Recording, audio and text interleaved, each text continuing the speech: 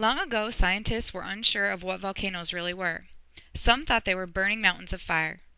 Today, they know that these ferocious explosions are openings in the Earth's crust that allow lava, ash, and gas to escape from the hot inside of the Earth below. Let's look at the six main parts of volcanoes and explore their functions. The first volcano part is the crater. This is a circular depression at the mouth of the volcano. This is the area that the lava and hot ash erupt from. Craters come in all sizes. Here's an example of one. Next is the lava. Lava is formed from liquid rock that flows out of a volcano.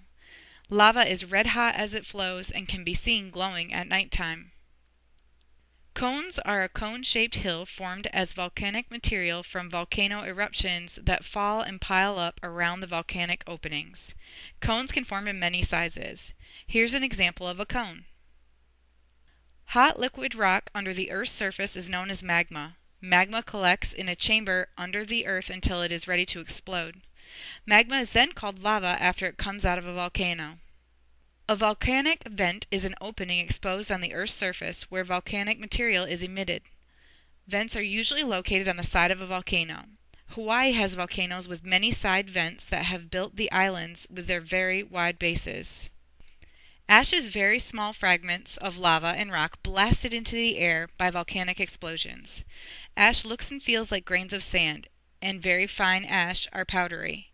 Here's a picture of a real volcano exploding ash. Volcanoes are very exciting. Let's review now. The basic parts of a volcano are the crater, lava, vent, cone, magma, and ash.